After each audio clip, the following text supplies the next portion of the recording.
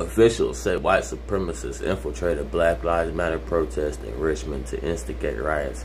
That wasn't the only place they infiltrated Black Lives Matter.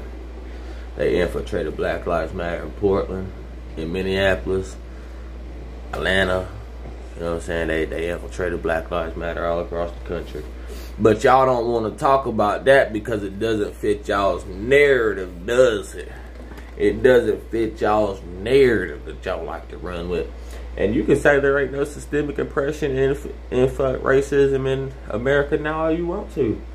But you, as a, a, white privileged person, you would have no fucking clue. Well, you would, you know what I'm saying? You would never admit to it, you know what I'm saying? Because y'all are guilty of the shit. But, you know what I'm saying? You can go around here saying whatever you want. It doesn't mean it's true. It just means y'all like to flap your fucking gums making me another video for YouTube. You fucking racist motherfuckers. Racist white supremacist. I got them. I got them on my page. You know what I'm saying? On my TikToks. Y'all about to see on YouTube.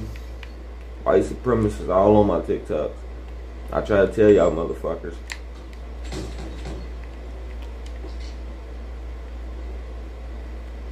How many minutes? 140? Shit, we go for two minutes.